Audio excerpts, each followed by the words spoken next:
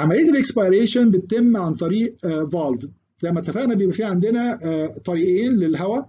في طريق بيودي الهواء اللي رايح لل inspiration وفي طريق بيرجع الهواء اللي هو رايح يبقى expired.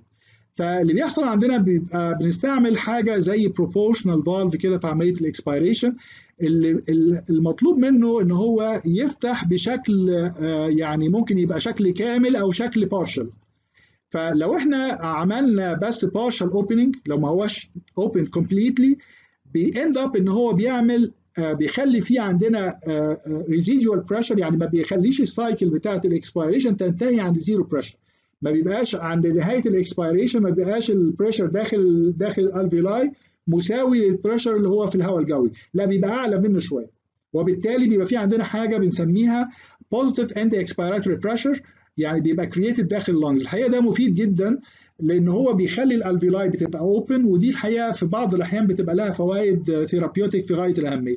فالحقيقة يعني لما يكون عندنا في expiratory valve بيعمل لنا الكلام ده ده بيبقى له therapeutic value وبيبقى التحكم فيه تحكم في إن هو يفتح بدرجة قد إيه أو يقفل بدرجة قد إيه بتبقى للطبيب علشان يعني يعالج حالة بعينها. يبقى في عندنا الحالة دي محتاجة مثلا pressure أعلى شوية ممكن الطبيب يعني يقدر إن هو يعلي ال pressure ده عن طريق ال expiratory valve طبعا بنتكلم على يعني طبعا ال expiratory valve الحقيقة بيبقى مهم برضو إن هو ي compensate لبعض الحاجات اللي بتحصل داخل ال breathi breathing cycle زي مثلا coughing okay? لو ال patient عايز يعمل coughing في أثناء عملية ال inspiration دي بتبقى مشكلة لأن basically إحنا بنحاول نضغط جواه هواء وهو عايز يطلع حاجة من داخل يعني عايز هو يعمل يعني يحرك الهواء في اتجاه مخالف.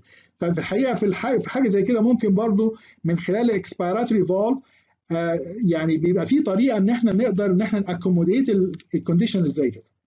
طبعا ك implementation ال expiratory valve عبارة عن حاجة زي needle valve بالشكل ده كده. وساعات بيتعمل بشكل مختلف شوية يبقى حاجة زي بالون كده أو diaphragm حسب هي منفوخة قد إيه. طبعا لو هي مش منفوخة خالص بيبقى مفتوح لو هو منفوخة partial بيبقى مفتوح بطريقة partial لو منفوخة بشكل كامل يبقى بشكل كامل.